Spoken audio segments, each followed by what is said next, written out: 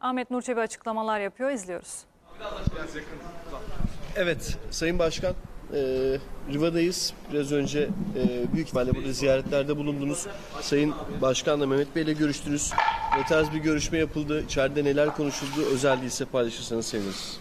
Yani tabii ki Türk futboluyla ilgili konular Beşiktaş'ın konularını konuştuk ama herkesin malum olduğu üzere e, iki gün evvel oynanan maçta Beşiktaş'ın e, uğramış olduğu büyük haksızlığı ve adaletsizliği elimizdeki belgelerle kendilerine tek tek e, arz ettik. E, sonuç itibariyle kendilerine bunu anladıklarını ve değerlendireceklerini anlamış bulunuyorum tavırlarından, konuşmalarından. Biz gerekenin yapılacağını e, umuyoruz ve bunu bekleyeceğiz. Ee, daha fazla bir şey konuşmak istemiyorum. Çünkü federasyon Türk futbolunun temsilcisidir. MHK kendisine bağlıdır. Ancak geçen seneki sorunların e, çözülmesi gerektiğini ifade ettik. Geçen seneden gelenlerin bir kısmı çözülse dahi tamamının çözülmediğini görüyoruz dedik. Hataların veya varsa kasıtların bunların tespitini yapması gereken kişilerin kendilerinin olduğunu ifade ettik. Ee, ama biz artık haksızlığa uğramak istemiyoruz. Ee, ve diğer takımların da uğramasını istemiyoruz. Yani bizim böyle bir sadece her şey Beşiktaş gibi bir tarzımız tavrımız olamaz. Ancak Beşiktaş'ın bundan daha fazlasını kaldırabilecek hiçbir daha limitinin kalmadığını ifade ettik. Benim camiam mutsuz, benim camiam tedirgin, benim camiamın güvene ihtiyacı var, benim camiamın federasyon ve hakemlerin e, zarar vermeyeceğine dair inanç içerisinde olma ihtiyacı var. Dolayısıyla bunu yapmaları gerekiyor. İstediğimiz budur. Ve kendilerine de ben e, güvenmek istiyorum, inanmak istiyorum. Bekleyip e, yapılan yanlışları nasıl düzelttiklerini e, beraber göreceğiz. E, şunu da ifade etmek istiyorum ki biraz daha hakemlerle ilgili federasyonun kamuoyunun önünde daha açık, daha şeffaf olması gerektiğini ifade ettik. Çıkın, nerede hata yapıldıysa hata yapılan yerleri söyleyin.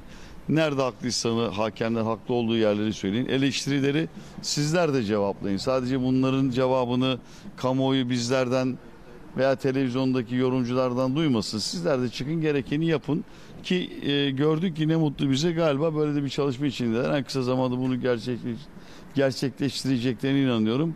E, ama artık Beşiktaş'ın tahammül sınırının bittiğini yeteri kadar anlattığımı e, sanıyorum. Umarım da sonuçlarını çok ve müspet bir şekilde sadece Beşiktaş değil tüm diğer kulüplerinde göreceğini e, bekliyorum. E, hakemlerin hata yapmaya hakları yok. Yani bir cerrahın ameliyatta hata yapması halinde sonu ölümle bitiyorsa e, hata yapma şansları yoksa hakemlerin öyle şansları yok. Adını koymuşuz yok hata hata artık buraya kadar bu iş bitti. Bu saatten sonra herkes e, Türk sporuna katkı vermek zorunda. Hakemlerin de son derece dikkat etmeleri lazım. Bir hata, iki hata, üç hata. Bir maçta bir hatayı anlarsınız ama on tane hata olmaz. Sayın Başkan Beşiktaş Kulübü dün Twitter hesabından Fenerbahçe maçındaki pozisyon ve bir benzeri olan e, sizin Beşiktaş Alanya Spor maçındaki pozisyonu paylaştı. İki pozisyonu değerlendirdikten sonra nasıl yorumlarsınız? Hepsini biz burada içeride değerlendirdik. Çıkardık önlerine koyduk. Yani ikisinden biri doğru hangisi diye sorduk. Bundan Cevap ne oldu Sayın Başkan? Müsaadenizle. E, cevabı sonra size 3-5 gün içerisinde alacakları kararlarla siz de ben de beraber göreceğiz. beklentiniz nedir Sayın Başkan bugünkü görüşmeden sonra? Nasıl bir karar çıkmasını Ben bekliyorsunuz? adalet ve vicdan istiyorum. İyi olanların mükafatlandırıldığı, kötü olanların cezalandırıldığı bir düzen istiyorum ben. Ben başka bir şey istemiyorum. Son olarak Sayın Başkan müsaadeniz varsa hakem Yasin Kol'u bir daha Beşiktaş maçlarında görecek miyiz?